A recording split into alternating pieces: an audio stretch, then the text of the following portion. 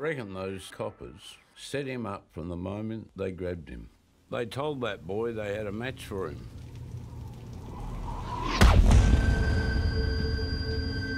If he'd won, he'd get to go free.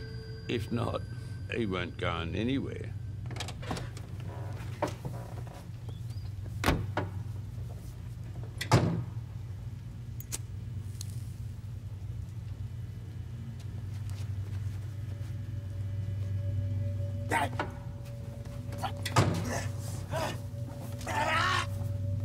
Don't worry, brawler. I'll get those groceries for your pretty young wife. Ah!